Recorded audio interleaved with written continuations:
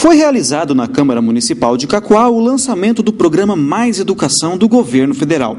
Este programa será implantado em algumas escolas municipais e atingirá diretamente um grande grupo de crianças e adolescentes. O programa Mais Educação né, é um programa do governo federal e que os municípios e os estados fazem adesão e o governo federal repassa uma verba para que as escolas possam estar oferecendo à comunidade estudantil ações que vão além da carga horária mínima de aulas diária.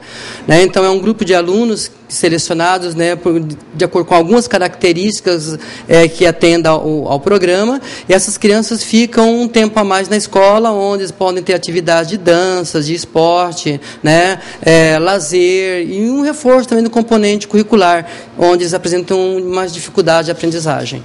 Então isso é uma mudança na área da educação, não só aqui de Cacau, mas de todo o país. Com certeza, é uma mudança e é uma tentativa, já uma iniciativa, melhor dizendo, né, de estar já adequando a escola para a construção da cultura da escola de tempo integral.